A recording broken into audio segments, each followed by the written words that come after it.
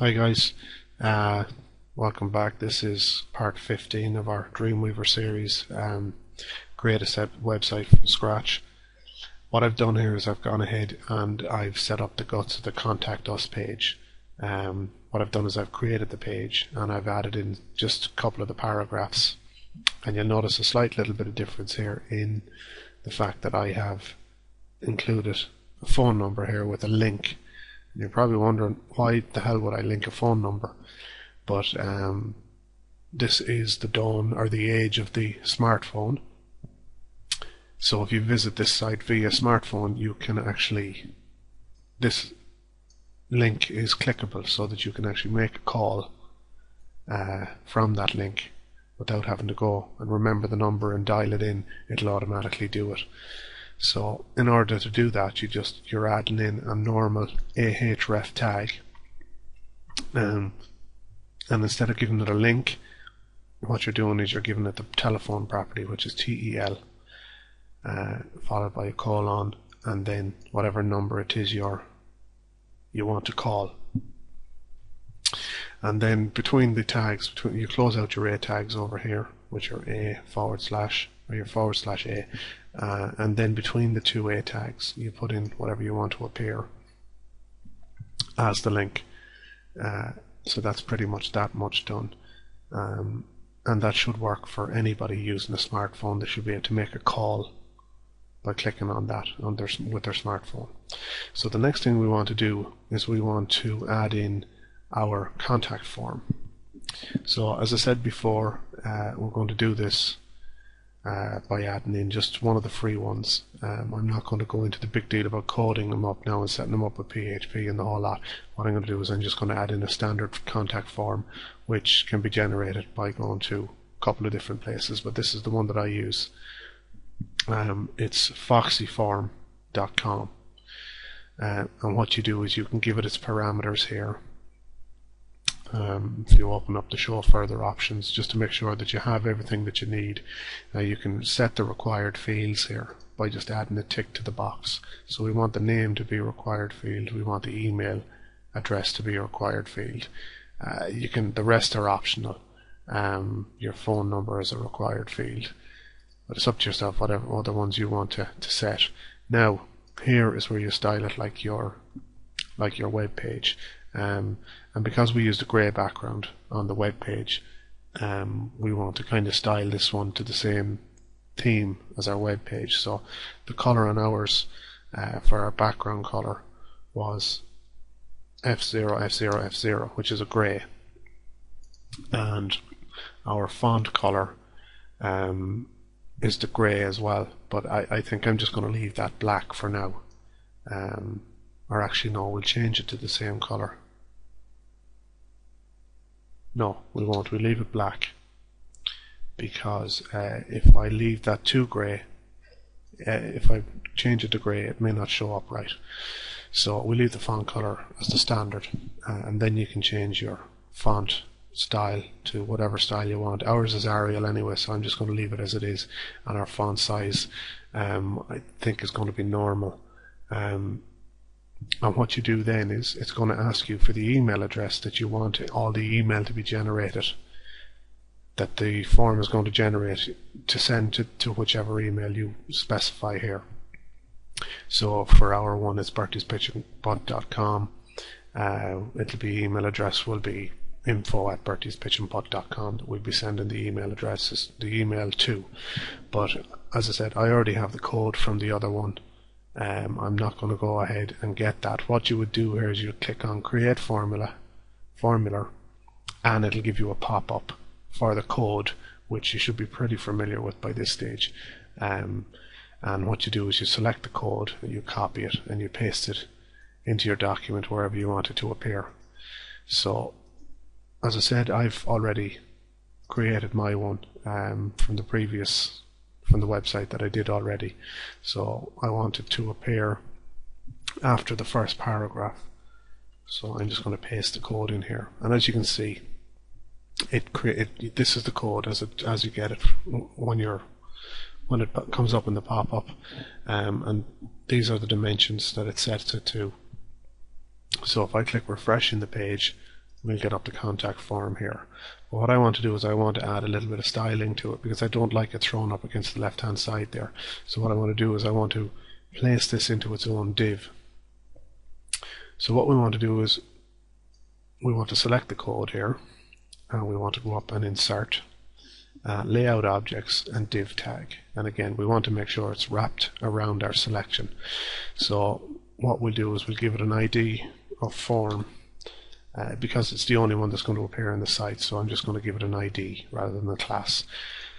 So we click on the new CSS rule and there's our rule for dot form. So we click on and it's going to be created within our style.css sheet. So we click on OK. And the first thing we want to do is we want to give it a width. So we're going to give it a width of 400 pixels and we want to give it a height of 485 pixels. We don't want to give it a float property, but what we do want it to do is we want it to be in the middle of the browser. So if you remember back to the property we did earlier on when we were given the wrapper to get it to center in the browser, we gave it a right value of auto and a left value of auto. Um, and what I want to do is I want to give it a padding top as well of 15 pixels uh, and a padding bottom. Um, not a padding bottom, sorry, a padding right and a padding left of 10 pixels each. That's just so that it kind of comes away from the edge of the browser or from the edge of the, the div. So the form itself is contained centrally within it. Uh, and what I also want to do is I want to set the background color of the div so that it appears the same color as we set for our, our form.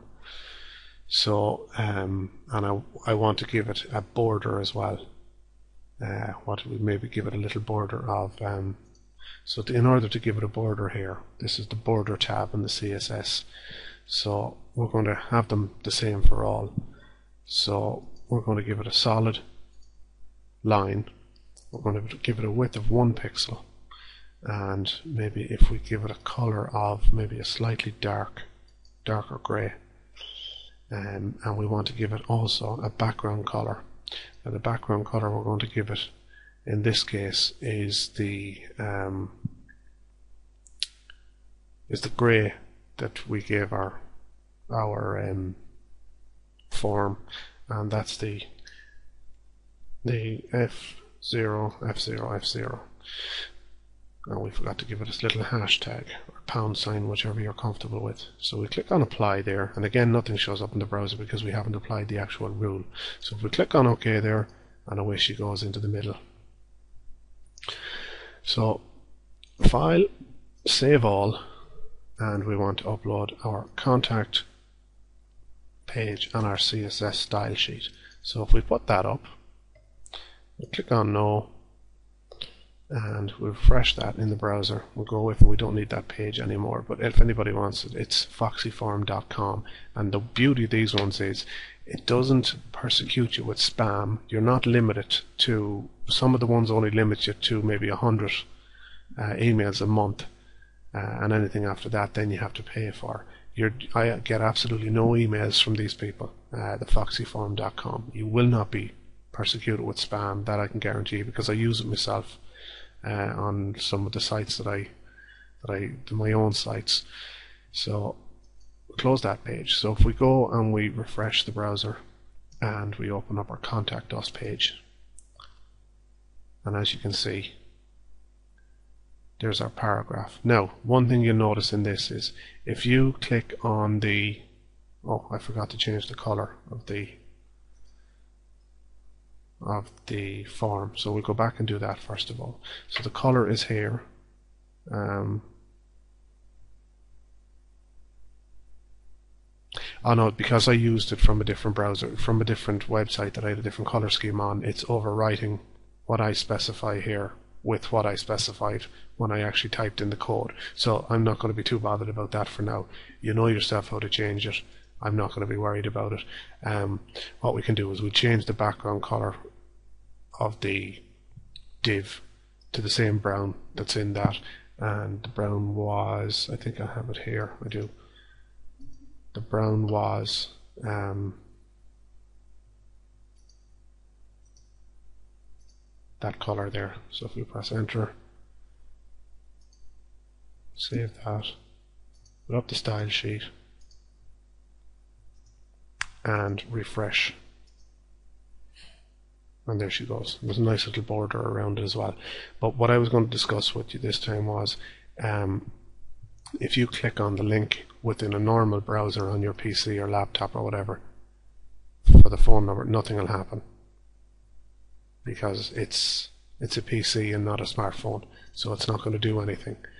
So, but as you can see, we have our form here, and you can type away in that. You can put whatever your details are, and then you click on send the message. Now, the beauty of this one is it comes with um, it comes with the CAPTCHA, the anti-spam, so that uh, no malicious or, or spam emails will be generated from your um, from your form uh, it actually requires a human input in order to be submitted. So you won't be persecuted there. And it means that you don't actually have to have your physical email address anywhere on your website.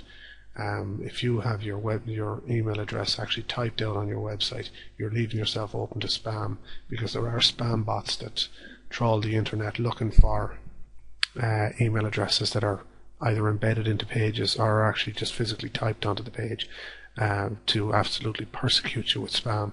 So this is one way of combating it by installing uh, a contact us form. Uh, the other reason for the contact us form as well is not everybody has email set up on their computer. So in order for them to send you an email, it means that they have to go and log into their Hotmail account and everything. Whereas if you have a standard contact form here, they can just send their message directly from here. And they don't have to log into any online email account.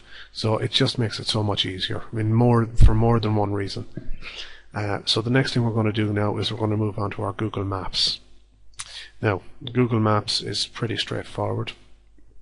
So we go to Google and along the top there you'll see Maps. So if you click on that, and you obviously with your own country you know exactly where you want to go to. But as I said, I'm in Ireland, so and I'm in Sligo, so there's Sligo there and if we zoom right in uh, Bertie's Pitch and Putt is actually out on the north side of Sligo town it's actually here so now I'm still waiting on the details to come back for this business I've submitted the business to it and it hasn't actually come in I haven't received the the postcard yet but when you submit a business to to Google Maps uh, you put in all the details and you verify you have to verify that you are who you are um, and that you have the authority to um, to use the the uh, business listing. So what they do is they send you out a postcard uh, to confirm who you are, uh, and it contains a PIN, and you'll be asked to type in that PIN when you create a, a Google Places account. So in this case here, um, we're just going. I'm just going to center the map here and just uh, click on what's here and the nearest thing that'll come up is whatever house or, or near hand because as I said I haven't received the postcard yet so we have that there and we want to link this page we want this map to show up on our page so what we need to do is up here in the link section here if you click on that and it'll give you the shortcut and it'll also give you the iframe now that's not good to us because we want to customize it to suit our page. So just here, you see customize and preview embedded map. And what we want to do is we want to set this to the width of our page. So if you click on custom there and set that to, is it 630 pixels? Uh, and what that does is it, it, it widens out the map to the width of our page and it'll center where we are exactly in it. Now if this was an actual business that you had, you'd have a little pop up here with your, or a little bubble there with all your business information, and you can go ahead and paste that in. But for our purposes, because as I said, I haven't received the postcard yet, we're just going to go ahead and and copy and paste in this code. So again, select all the code, right click, copy, and I already have it done from the previous one so I'm just going to copy mine in. So again copy and in your in Dreamweaver then um, as I said I added in a second paragraph here. So at the end of that paragraph if we just paste in the code click refresh and going to save all and we'll put up the contact us page. Now if you're just putting up the page that you're working on there is a shortcut to it. You don't have to go back in here and select the contact us page and hit the blue button. What you can do is the shortcut for putting up the page that you're currently working on is Control, Shift and U. And then all you have to do is select no and it'll put it up. So if we go back to our page now and we refresh it, we have our contact us page with our contact form and our Google map and that's pretty much it in terms of the Google Google Map. Now, as I said, you need to go into Google and you need to create an account for Google Places if you want to have a business listing in it. Um, and the Google Places listing, uh, as I said, you have to have your Google account uh, set up. So, but this is what it looks like. As you can see, Bertie's Pitch and Putt. It has. I haven't received a to put in the pin yet. Um, it has been sent out, but because of Christmas, it's taken just that little bit longer to get through. I have a few more waiting on as well, as you can see there, but that's pretty much it. So you go to Google Places. If you already have a Google account, you can just sign up for it, um, or as create a Google account and um, do it from there. But that's pretty much it for now, guys. Um, I'm not sure if I'm going to add anything else to this tutorial series, um, but for the time being, um, I think I'm just going to call it. Uh, if I think of anything further on down the line, I might add to it, but I think that's the end of the series for now. Uh, if you've watched the entire series, thanks a million for watching it, and uh, I do appreciate any comments, be they criticism or otherwise. Uh, so if you want to leave anything in the comments section below, and be sure to uh, give us a thumbs up and subscribe for future tutorials. Um, I haven't decided yet what I'm going to do for the next tutorial. Uh, I may do something with um, HTA, HT access uh, and blocking access to your root folder on the internet or on the yeah on the internet. So uh, we we see what happens from there. But for the time being, I think that's kind of the end of this tutorial series. If there's anything else you want, kind of add it to it. You can always add it in the comments section and maybe we can look at expanding on it again um, or if you have any ideas. Anyways, thanks a million guys and be sure to subscribe and give us a thumbs up.